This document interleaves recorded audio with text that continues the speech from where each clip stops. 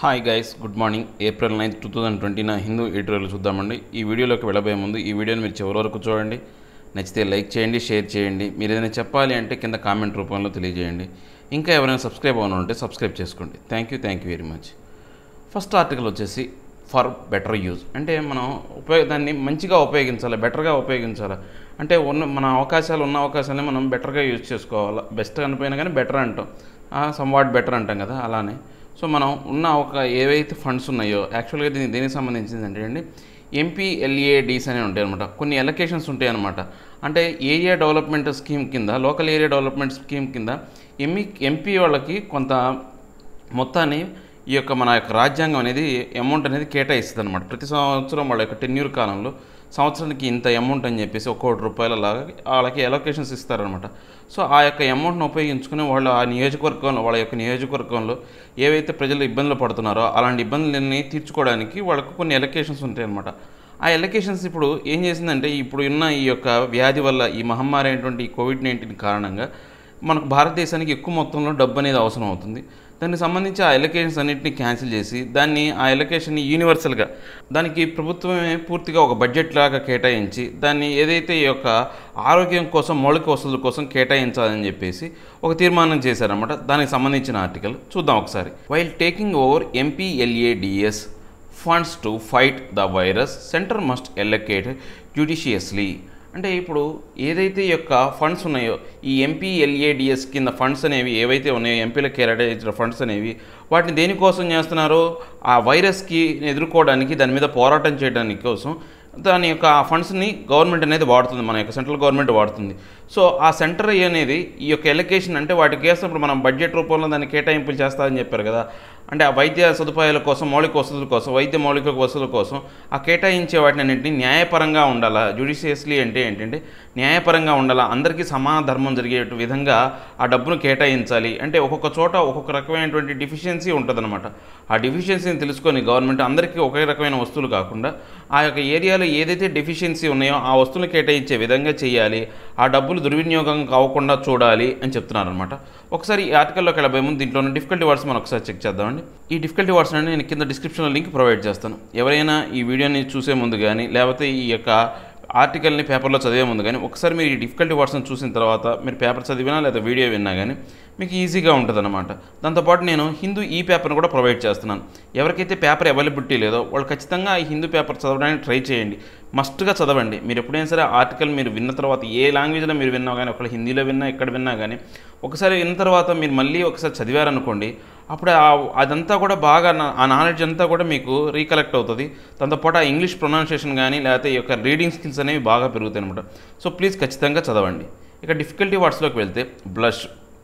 Bloom readiness సిగ్గు entitle quant ration అర్హత procurement obtain సేకరణ డిస్పెన్సేషన్ ఎగ్జంప్షన్ మినహాయింపు జ్యుడిషియస్ వైజ్ ప్రొడెంట్ న్యాయపరమైన రిడౌండ్ కాంట్రిబ్యూట్ ఎల్లకేట్ కేటాయించు ఎలాక్రిటీ జాయిస్నెస్ జీలు ఉల్లాసము ఎంపతి సింపతి కంపాషన్ జాలి దయాభావం పర్సిస్టెంట్ కాన్స్టెంట్ కంటిన్యూస్ నిరంతర క్రిటిసిజం హ్యాకిల్ తీవ్ర విమర్శ ఎన్క్రోచ్ ఇంట్రూడ్ ట్రెస్పాస్ ఆక్రమించు జ్యూరిస్ట్ న్యాయవేత్త ప్యాట్రనేజ్ ఫేవరటిజం నెపోటిజం ప్రాపకం రోబస్ట్ స్ట్రాంగ్ టఫ్ దృఢమైన అప్రోగేషన్ రివొకేషన్ కొట్టివేయడం. ఇవి దీంట్లో ఉన్న డిఫికల్టీ వర్డ్స్ అండి. ఇక మనం ఆర్టికల్లోకి వెళ్తే the suspension of the members of parliament local area development scheme MPLADS for two year to boost the funding available for the COVID nineteen fight is a step in the right direction అంటే ఇప్పుడు ఈ యొక్క parliament మెంబర్స్కి ఏదైతే ఉందో local area development scheme కింద వాళ్ళకు కొంత అమౌంట్ అనే దాన్ని కేటాయిస్తారు ప్రతి సంవత్సరం. దానికి సంబంధించి దానికి సంబంధించిన రెండు సంవత్సరాల అమౌంట్ని ఈ యొక్క కోవిడ్ నైన్టీన్ వ్యాధికి మీద పోరాటం కోసం వీళ్ళు సెంట్రల్ గవర్నమెంట్ అనేది ఆ యొక్క ధనాన్ని వాడాలని చూస్తుంది. అది వీళ్ళు తీసుకున్న ఒక మంచి నిర్ణయం అనమాట it may appears at first plus that the decision may undermine the decentralised manner of funding local area development. అంటే ఇది ఫస్ట్ చూడడానికి ఇది సిగ్గుపడే విధంగా ఉందన్నమాట ఈ డెసిషన్ అనేది. ఈ విధానం ఏదైతే ఉందో అంటే మన యొక్క డీసెంట్రలైజ్ అంటే వికేంద్రీకృతం ద్వారా ఈ యొక్క పరిపాలన విధానాన్ని సాగించే విధానానికి ఇది సిగ్గుపడే విధంగా అంటే దానికి అవమానం కలిగించే విధంగా ఉంది. ఎందుకోసమని? అది డీసెంట్రలైజ్ చేసుకోవడం కోసం అంటే ఏ నియోజకవర్గానికి ఆ నియోజకవర్గాన్ని వాళ్ళ నిధులను వాళ్ళకే సొంతగా ఇవ్వటం వల్ల వాళ్ళ పనులు వాళ్ళే సొంతంగా చేసుకుంటారనమాట దీని మీద ఆధారపడ సెంట్రలైజేషన్ మీద ఆధారపడకుండా కేంద్రీకృతం మీద ఆధారపడకుండా వాళ్ళు వికేంద్రీకృతంగా మీద పని చేసుకోవడానికి ఉపయోగపడే ఒక విధానం అనమాట దానికి సిగ్గు కలిగించండి దాన్ని దాని ప్రభావం చెందించే విధంగా ఉందన్నమాట ఈ decision. However past experience has been that some members do not utilise their full entitlement and that there is a gap between recommendation made by members and implementation by the administration under the scheme కానీ ఇప్పుడు ఏమైనా మనం చెప్పుకోవాలంటే ఎందుకంటే మనం దీంట్లో ఉన్న మన యొక్క పూర్వం యొక్క ఆ యొక్క ఎక్స్పీరియన్స్ కనుక మనం చూసుకుంటే మన యొక్క ఆ దాని ప్రకారం చూస్తే కనుక ఈ దీంట్లో చాలా వరకు ఏవైతే ఎలకేట్ చేసిన అమౌంట్ ఏదైతే ఉందో ఆ ఎంపీలు అనేవాళ్ళు సరిగా దాన్ని ఉపయోగించుకోలేదు. చాలా వరకు ఎలకేట్ చేసిన అంటే రికమెండేషన్స్ ఏవైతే ఉన్నాయో ఆ రికమెండేషన్ కానీ ఇంప్లిమెంటేషన్ అనేది తేడా ఉందన్నమాట. ఆ అమౌంట్ అనేది అలా మురిగిపోతుంది ఎవరు ఖర్చు పెట్టకుండా ఉపయోగించకుండా అలా పక్కన పడిపోతుంది అనమాట the immediate benefit now is the freeing up about seven thousand nine hundred crore over a two year year period so that it can be spent on boosting the health infrastructure needed to combat the pandemic అంటే ఇప్పుడు ఈ యొక్క విధానం వల్ల ఒక ఈ యొక్క ఫండ్స్ని allocate చేయటం వల్ల మొత్తం ఏడు వేల తొమ్మిది వందల కోట్ల రూపాయలు అనేవి ఈ రెండు సంవత్సరాల కాలంలో మన యొక్క ఈ హెల్త్ ఇన్ఫ్రాస్ట్రక్చర్కి అంటే మన యొక్క భారతదేశంలో ఉన్న ఆరోగ్య విధానాన్ని యొక్క మౌలిక సదుపాయాలను పెంచుకోవడానికి లేకపోతే ఇలాంటి వ్యాధులతో మనం పోరాడడానికి ఉపయోగపడే అమౌంట్ ఎంతంటే మొత్తం ఏడు వేల తొమ్మిది వందల కోట్లు వచ్చిందనమాట this is the second announcement regarding MPLADS that the centre has uh made after the disease outbreak ఇది యాక్చువల్గా ఈ ఎంపీ ఎల్ఈడిస్కి సంబంధించిన ఈ యొక్క ఏదైతే ఈ డెసిషన్ ఉందో ఇది రెండో డెసిషన్ అనమాట ఆల్రెడీ ఫస్ట్ డెసిషన్ అనేది తీసుకోబడింది. ఎప్పుడు ఈ వైరస్ అనేది ఒకసారిగా అవుట్ బ్రేక్ అయిన తర్వాత మన భారతదేశంలో వ్యాప్తి చెందుతున్న తర్వాత వీళ్ళు తీసుకున్న రెండో నిర్ణయం ఇది last month it allowed utilization of MPLADS funds to the extent of at least five lakhs by each MP to purchase medical equipment for government hospitals in their constitutions constituencies అంటే లాస్ట్ మనం last month చూస్తే కనుక ఈ MPLADS కింద ఈ amount ఏదైతే ఉందో ఈ ఫండ్ అమౌంట్ ఏదైతే ఉందో ఒక్కొక్క ఎంపీకి వాళ్ళు మినిమం ఐదు లక్షల వరకు డ్రా చేసుకొని ఆ యొక్క వాళ్ళ కాన్స్టిట్యూషన్సీస్లో ఏవైతే గవర్నమెంట్ హాస్పిటల్ ఉన్నాయో ఆ గవర్నమెంట్ హాస్పిటల్లో ఆ యొక్క మెడికల్ ఎక్విప్మెంట్ అంటే వైద్యానికి ఉపయోగపడే ఆ యొక్క ఏ పరికరాలు ఏవైతే ఉన్నాయో కొనుక్కోవడానికి ప్రభుత్వం అనేది వాళ్ళకి పర్మిషన్లు ఇచ్చిందనమాట many members made immediate use of the one time dispensation to recommendation the procurement of N N ninety five masks personal protective equipment and ventilators ఆ తర్వాత ఏం చేశారు? ఆ డెసిషన్ చెప్పిన తర్వాత చాలామంది ఎంపీలు ఏం చేశారంటే ఆ అమౌంట్ అంతా కూడా వాళ్ళు ఒక్కసారిగా దాన్ని డ్రా చేసి వన్ టైంలోనే వాళ్ళు డిస్పెన్స్ చేసి వాళ్ళు ఏం చేశారు? అక్కడ ఏవైతే అవసరం ఉన్నాయో ఆ అవసరమైనటువంటి ఎన్ నైంటీ ఫైవ్ మాస్కులు కావచ్చు లేకపోతే ఆ ప్రొడక్టివ్ ఎక్విప్మెంట్ అయినటువంటి వెంటిలేటర్స్ కానీ లేకపోతే వాళ్ళకి డాక్టర్లకి ప్రొటెక్టివ్గా ఉండేట్టుగా ఆ యొక్క ఆ మాస్కులు బాడీ మాస్క్ అయితేనేమి వాటిని పర్చేజ్ చేశారనమాట now that the entire scheme has been suspended the government should ensure that recommendation already made are acted upon immediately అంటే ఇప్పుడు మొత్తం ఏదైతే ఈ స్కీమ్ ఉందో ఇంతకుముందు పోయిన నెలలో వీళ్ళు చెప్పిన స్కీమ్ ఏదైతే ఉందో దాన్ని పూర్తిగా ఆపేశారనమాట సో ఆపేసి ఏం చేసింది? గవర్నమెంటే దానికి సంబంధించిన రికమెండేషన్స్ ఏవైతే ఉన్నాయో అంటే ఎలా చేస్తే ఈ యొక్క వ్యాధిని అరికట్టవచ్చు ఏమేమి మౌలిక సదుపాయాలు కలిగించాలనే దాని గురించి వాళ్ళు ఇమీడియట్గా ఒక డెసిషన్కి తీసుకున్నారు ఒక ప్రణాళిక తీసుకొచ్చారనమాట while the transfer of the sum to the consolidated fund of India would help జుడిషి judicious development anywhere in the country అంటే ఈ అమౌంట్ మొత్తాన్ని కూడా కన్సాలిడేటెడ్ ఫండ్ ఆఫ్ ఇండియా మన భారతదేశంలో రెండు రకాలైనటువంటి ఫండింగ్స్ ఉంటాయన్నమాట. కాంటింజెంటీ ఫండ్ ఆఫ్ ఇండియా అని కన్సాలిడేటెడ్ ఫండ్ ఆఫ్ ఇండియా అని. ఈ కన్సాలిడేటెడ్ ఫండ్ ఆఫ్ ఇండియాలో ఈ మొత్తం అమౌంట్ని ట్రాన్స్ఫర్ చేసిన తర్వాత దాన్ని వీళ్ళు ఏం చేస్తారంటే న్యాయపరంగా ఈ దేశ యొక్క అభివృద్ధి కోసం దాన్ని ఉపయోగిస్తారనమాట based on assessment of the varying needs in different region it would redound to government's credit if the genuine effort made by members to help their help are not frustrated అంటే ఇప్పుడు ఈ యొక్క ఏవైతే ఉందో ఇప్పుడు మా భార భారతదేశం ఈ యొక్క కన్సాలిడేటెడ్ ఫండ్ ఆఫ్ ఇండియాలో ఉన్న ఈ మొత్తాన్ని వీళ్ళకు ఏదైతే డిఫరెంట్ డిఫరెంట్ రీజియన్లో రకరకాల అవసరాలు ఉంటాయన్నమాట. దాన్ని వీళ్ళు గుర్తించి ఎవరైతే ఈ మంపీ మా ఎంపీలు ఎవరైతే ఉన్నారో వాళ్ళ యొక్క చెప్పిన విధానం ప్రకారం గవర్నమెంట్ కనుక వాళ్ళకు అవసరమైనటువంటి ఈ యొక్క వస్తువులను ఏర్పాటు చేయడం వల్ల దానివల్ల ఏమవుతుందంటే గవర్నమెంట్ క్రెడిట్ పెరుగుతుంది అనమాట దాంతోపాటు అక్కడ కాన్స్టిట్యూషన్స్లో అక్కడ ప్రజలు ఫ్రస్ట్రేట్ అవ్వకుండా అంటే వాళ్ళు ఇబ్బంది పడకుండా అసహనానికి గురి కాకుండా చేసిన వాళ్ళు అవుతారు it should also see to it that allocation are not uh discriminatory అంటే మనం దీంతో పాటు ఇంకా ఏం చూడాలి అంటే ఈ యొక్క పం ఆ పంపిణీ అనేది అంటే ఈ యొక్క ఎలొకేషన్ అనేది మనం వాళ్ళ కేటాయింపులు అనేవి ఎప్పుడు కూడా డిస్క్రిమినేటరీగా ఉండవు. ఇంతకుముందు ఏమైంది? ఎవరికి వాళ్ళకి ఇంత అమౌంట్ అనేది కొంత అమౌంట్ అనేది ఉంది. అంటే ఎవడు ఇష్టం వచ్చినట్టు వాడు ఖర్చు పెట్టుకునేవాడు. ఇప్పుడు ఎంత మొత్తం కూడా ఏం చేస్తుంది? గవర్నమెంట్ చేతిలో తీసుకుంది ఆ అమౌంట్ని వాళ్ళు ఏం చేస్తారు? ఎవరికి అవసరం ఉంటే వాళ్ళు ఖర్చు పెడతాం అంటున్నారు. సో అలా కాకుండా వాళ్ళు రాష్ట్రాలు కొన్ని కొన్ని రాష్ట్రాలకు బీజేపీ గవర్నమెంట్ పరిపాలిత ప్రాంతాల్లో వాళ్ళు ఎక్కువ అమౌంట్ రిలీజ్ చేసి లేకపోతే నార్మల్గా బీజేపీ లేని గవర్నమెంట్ ప్రాంతాల్లో మనం మన ఇప్పుడు ఆంధ్రప్రదేశ్ ఉంది. మన సపోజ్ మన ఎగ్జాంపుల్ తీసుకుంటే మన ఆంధ్రప్రదేశ్లో బీజేపీ గవర్నమెంట్ లేదు. సో ఆంధ్రప్రదేశ్కి ఎక్కువగా నిధులు కేటాయించలేదు అనుకోండి అప్పుడు వీళ్ళు వివక్ష చూపినట్టు ఉంటుంది అనమాట అలా ఉండకూడదు. వివక్ష చూపినట్టు మాత్రం ఉండకూడదు అనమాట ఈ యొక్క ఫండ్ ఎలకేషన్లో మాత్రం కేటాయింపులు political reactions indicate that there is a considerable disenchantment over the suspension అంటే ఇప్పుడు పొలిటికల్ రియాక్షన్స్ రాజ్యాంగపరమైనటువంటి దీనికి ఈ యొక్క ఈ చర్యకు ప్రతీకార చర్యలు ఎలా ఉన్నాయంటే వీళ్ళు అంటే దీని గురించి వీళ్ళు విమర్శిస్తున్నారనమాట అంటే ఎంచాంట్మెంట్ దీని గురించి వ్యతిరేకంగా మాట్లాడుతున్నారు. The fry of core corpus available to each member is a source of much goodwill for elected representatives అంటే ఇప్పుడు ఐదు కోట్ల రూపాయలు అనేది కార్పస్ ఫండ్ రూపంలో వాళ్ళ కేటాయింపులు చేయడం అనేది వాళ్ళ యొక్క గుడ్ విల్ని పెంచుకోవడానికి మన గుడ్ విల్ అంటే వాళ్ళ యొక్క మంచి చేస్తారు ప్రజలకు అనే ఒక అంశాన్ని పెంచుకోవడానికి మనకు రాజ్యాంగం కల్పించిన ఒక అవకాశం అనమాట ఎంపీలకి. Better performing MPs identify the fulfil local development needs with empathy and alacrity అంటే ఎవరైతే ఈ యొక్క మంచి ఎంపీలు అంటే బాగా అంటే నియోజకవర్గం కోసం పాటుపడే ఎంపీలు ఎవరైతే ఉన్నారో వాళ్ళు ఏం చేస్తారంటే అక్కడ ప్రజల యొక్క అవసరాలను తెలుసుకొని వాటిని ఫుల్ఫిల్ చేసుకోవడం అంటే వాళ్ళ దయార్థ ఎంపతి అంటే ఏంటంటే దయార్థ హృదయంతో లేదా ఎలాక్రసిటీ అంటే దయార్థ హృదయంతో వాళ్ళ మీద ప్రేమతో ఏం చేస్తారంటే వాటిని కేటాయింపులు చేయడానికి ఆ యొక్క కేటాయింపులు చేసి వాళ్ళ కోరికను తీర్చడానికి ఉపయోగపడే విధంగా ఉండే అనమాట ఒకప్పుడు. However there has uh also been persistent criticism about the schemes very nature అంటే ఇప్పుడు వీళ్ళు తీసుకొచ్చిన ఈ స్కీమ్ యొక్క విధానం ఈ వేరీ నేచర్ అంటే దాని యొక్క ప్రవృత్తిని బట్టి చూస్తే కనుక దీని మీద కూడా చాలా వరకు అంటే స్థిరంగా మనకు చాలా వరకు విమర్శలు కొనసాగుతూ ఉన్నాయన్నమాట. A constitutional flaw pointed out by experts is that it goes against the separation of powers అంటే ఇప్పుడు ఈ కాన్స్టిట్యూషనల్గా అంటే విధానపరమైనటువంటి ఫ్లా అంటే తప్పులు అనమాట ఈ విధానపరమైనటువంటి తప్పులు అనేవి దేన్ని గుర్తిస్తున్నాయంటే ఈ యొక్క సపరేషన్ ఆఫ్ పవర్స్ అంటే ఎవరికి ఎవరికి ఉండే అధికారాలను వాళ్ళు సపరేషన్స్ ఉన్నాయన్నమాట పద అంటే అధికార వికేంద్రీకరణను వ్యతిరేకంగా ఉంది ఈ బిల్లు అంటే వీళ్ళు తీసుకొచ్చిన విధానం అని చెప్తున్నారన్నమాట. It allows individual legislator to encroach on the planning and implementation duties of the administration అంటే ఇప్పుడు ఇది ఎలా ఉంది అంటే ఈ ఇండివిజువల్ లెజిస్లేటర్ల యొక్క ఆ యొక్క పరిపాలన విధానం కావచ్చు లేకపోతే వాళ్ళ యొక్క ప్లానింగ్ కావచ్చు వాళ్ళు చేసే ఆ విధానాలకు సంబంధించి దాని మీద దాడి చేసినట్టు ఉందన్నమాట.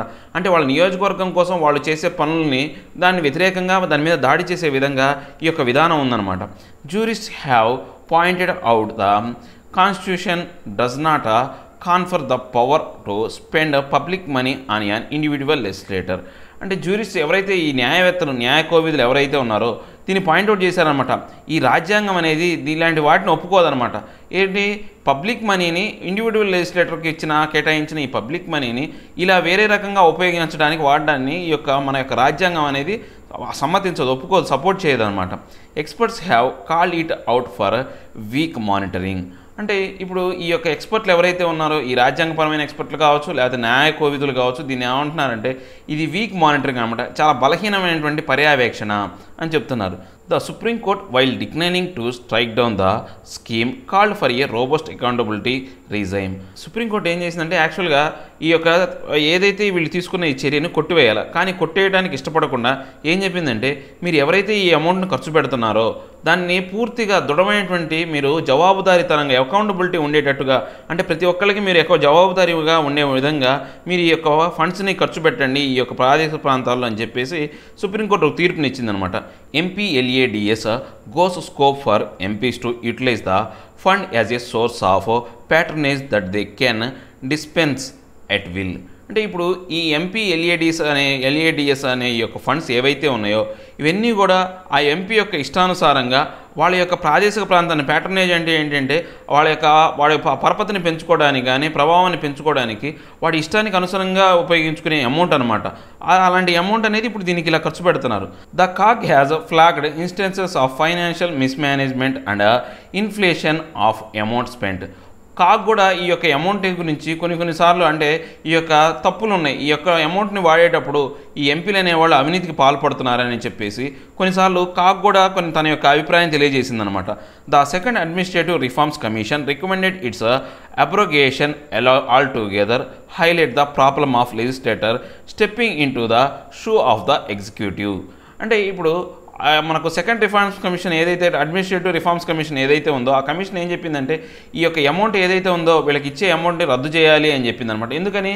వాళ్ళు ఈ లెజిస్లేటర్లు ఈ చేసి అంటే వీళ్ళు తప్పులు చేస్తున్నారు. దాన్ని ఎగ్జిక్యూట్ ఆ యొక్క డబ్బుల్ని యూటిలైజ్ చేసుకునేటప్పుడు కానీ ఖర్చు పెట్టేటప్పుడు వాళ్ళు పొరపాట్లు కానీ లేకపోతే తప్పులు చేసుకుంటూ వస్తున్నారు కాబట్టి అలాంటి అమౌంట్ని వాళ్ళకి లేకుండా అబార్గేషన్ అనమాట దాన్ని రద్దు చేయాలని చెప్పేసి ఈ second administrative commission reforms commission కూడా చెప్పిందనమాట the current suspension gives some scope for a reconsideration of the scheme in its totality అంటే ఇప్పుడు ఈ యొక్క అమౌంట్ని ఈ ఎంపీ ఎల్ఏడిఎస్కి డిఎస్కి సంబంధించిన ఈ అమౌంట్ని నిలిపివేయడం అనేది వీళ్ళకి ఒక స్కోప్ అనమాట అంటే ఒక ఆలోచించడానికి ఒక అవకాశం కల్పించింది.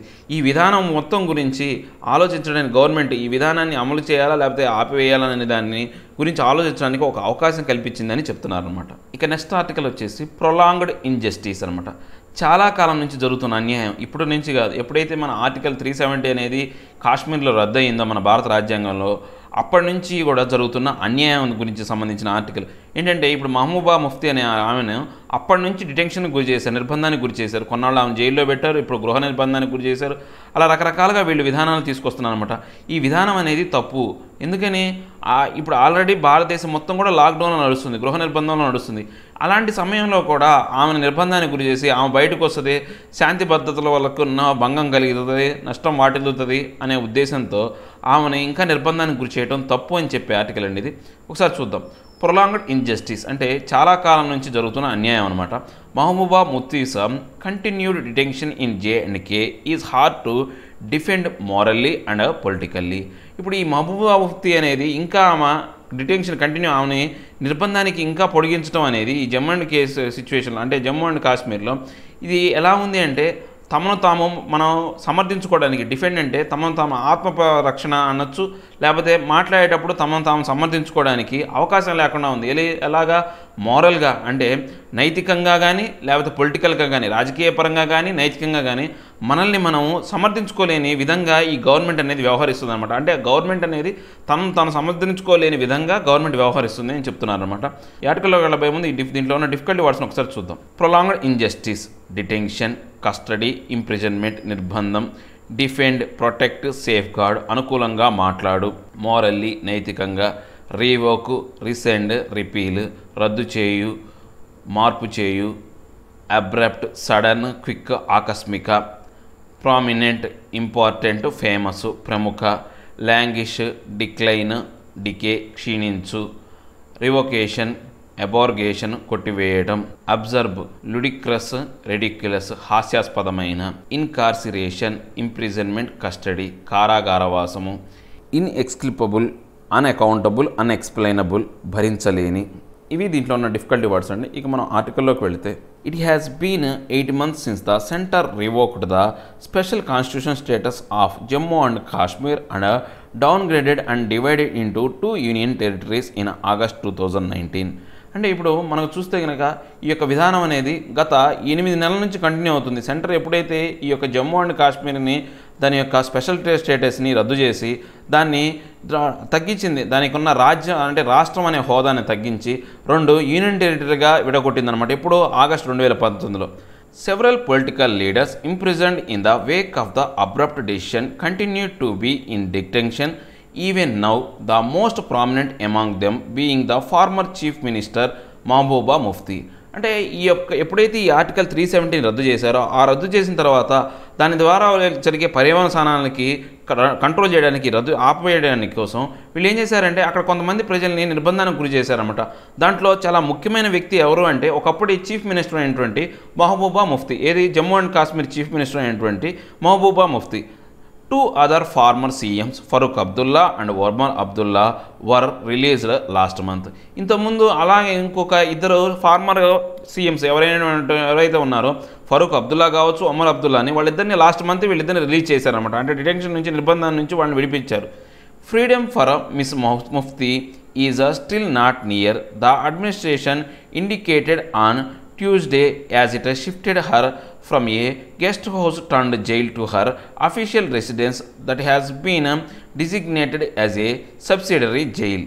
అంటే ఇప్పుడు ఆమెని ఎంతకాలం ఇంకా నిర్బంధానికి గురి చేస్తారనేది ఇంకా తెలియదు అనమాట ఈ అడ్మినిస్ట్రేషన్ ఇంకా ఏం చెప్పిందంటే మన మంగళవారం ఏం చేశారంటే ఏమని ఆమె యొక్క గెస్ట్ హౌస్ నుంచి ఇంతకుముందు గెస్ట్ హౌస్ని జైలుగా మార్చి ఆమెను అక్కడ నిర్బంధానికి గురి చేశారు. ఇప్పుడు ఆమెని అఫీషియల్ ఆమె యొక్క సొంత ఇంటికి తీసుకొచ్చారన్నమాట. అఫీషియల్ రెసిడెన్స్కి తీసుకొచ్చి దాన్ని ఒక సబ్సిడరీ జైలు లాగా ట్రీట్ చేస్తూ ఆమెను నిర్బంధానికి గురి చేశారనమాట ఎంతకాలం ఆమెను అలా నిర్బంధానికి గురి చేస్తారని ఇంకా ఇంకా ఎవరికీ తెలియదు. She will not able be allowed to move out of here or receive visitors and remain in detention under the controversial public safety act అంటే ఆమె ఇప్పుడు ఎవరిని కలవడం కానీ లేకపోతే ఎక్కడికి పోవటం కానీ ఎవరిని విజిటర్స్ చూడటం కానీ అలా ఏమీ లేవు. ఆమె ఎప్పటికీ కూడా అలా అంటే నిర్బంధానికి గురి ఉండాలన్నమాట. దేని కింద? ఈ కాంట్రవర్సల్ అంటే వివాదాస్పదమైనటువంటి పబ్లిక్ సేఫ్టీ యాక్ట్ అనే చట్టం కింద ఆమె నిర్బంధానికి గురి చేశారనమాట hundreds of others including veteran People's Democratic Party PDP leader Naeem Akhtar and IAS officer turned politician Shah Faesal continue to languish in jail అంటే దీంతో పాటు వందల సంఖ్యలో ఉన్నటువంటి ఈ పీడీపీ లీడర్ ఎవరైతే ఉన్నారో వాళ్ళు ముఖ్యంగా ఎవరంటే ఆ పీడీపీ లీడర్ అయినటువంటి నయీం అఖ్తర్ కావచ్చు ఒక ఐఏఎస్ ఆఫీసర్ ఆయన ఎలా మారాడంటే పొలిటీషియన్గా మారాడనమాట. ఆయన ఎవరు? షా ఫాజిల్ అనే అతను. వాళ్ళు ఇంకా కూడా ఆ జైల్లోనే మగ్గిపోతున్నారు. లాంగ్వేజ్ అంటే అంటే క్షీణించిపోతున్నారు అనమాట జైల్లోనే వాళ్ళ జీవితం మొత్తం క్షీణించిపోతుంది. The manner in which the centre hollowed out article three seventy and dismantled a state set and inglorious precedent in the history of Indian federalism అంటే ఇప్పుడు ఈ విధానం సెంట్రల్ గవర్నమెంట్ ఈ ఆర్టికల్ని త్రీ సెవెంటీని రద్దు చేసే విధానం కావచ్చు లేకపోతే ఆ రాష్ట్రం యొక్క ఖ్యాతిని గ్లోరీ గ్లోరియస్ ప్రెసిడెంట్ అంటే ఇంతకుముందు ఉన్న దాని ఖ్యాతిని తగ్గించడం అనేది మన యొక్క భారతదేశం యొక్క సమాఖ్య వ్యవస్థలో ఎప్పుడు ఇంతకుముందు ఎప్పుడు హిస్టరీలో చరిత్రలో ఎప్పుడో జరిగిన విధంగా జరిగిందనమాట the lockdown of J and K was mostly lifted before it was reimposed to combat COVID nineteen ఇప్పుడు ఈ లాక్డౌన్ జమ్మూ అండ్ కాశ్మీర్ని పూర్తిగా వీళ్ళు లాక్డౌన్ చేయడం అనేది అంటే దాన్ని లాక్డౌన్ నుంచి బయట వదిలిపెట్టారనమాట లిఫ్ట్ చేసి అంటే లాక్డౌన్ ఎత్తివేశారు. ఎప్పుడు ఎత్తివేశారు ఈ కోవిడ్ నైన్టీన్ ఏదైతే ఉందో అది అవుట్ బ్రేక్ కాకముందు అంటే రా కొంతకాలంలో ఈ కోవిడ్ నైన్టీన్ వల్ల మనం పూర్తిగా మళ్ళీ లాక్డౌన్కి వెళ్ళిపోతా ఉన్న సమయంలో దీన్ని లాక్డౌన్ నుంచి నిర్బంధం నుంచి దాన్ని విడుదల చేశారనమాట కానీ ఇప్పుడు మళ్ళీ నిర్బంధానికి వెళ్ళిపోయింది ఈ కోవిడ్ నైన్టీన్ వల్ల.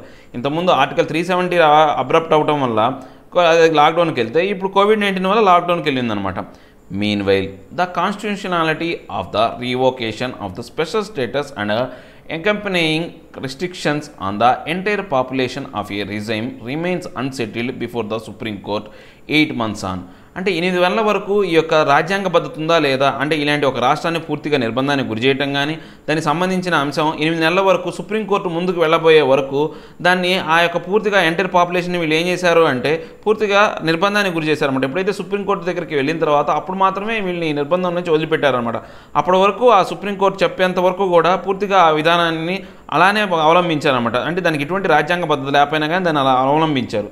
Miss Mufti is a home imprisonment at a time when the entire population is uh, expected to lock themselves up in their own homes is the theater of the observed. అంటే ఇప్పుడు ఈ ముఫ్తా మహుదా ముఫ్తీని ఇప్పటికీ ఆమెను అనే ఇంప్రెషన్మెంట్ అంటే నిర్బంధానికి గురి చేయడం అనే విధానం ఎలా ఉంది అంటే పూర్తిగా జమ్మూ కాశ్మీర్ మొత్తం కూడా లాక్డౌన్ అయింది. అంటే ఎవరు ప్రజలు వాళ్ళకు వాళ్ళే ఆ స్వచ్ఛందంగా వాళ్ళు నిర్బంధానికి వెళ్ళిపోయారు. ఇలాంటి సిచ్యువేషన్లో కూడా ఆమె నిర్బంధానికి గురి చేయడం ఎలా ఉంది అంటే అది చాలా హాస్యాస్పదంగా ఉందన్నమాట. చూడడానికి అది మన నాటకాల్లో చూసే మనకు ఒక హాస్యాస్పదంగా కామెడీ ఎలా ఉంటుందో అలా ఉందన్నమాట.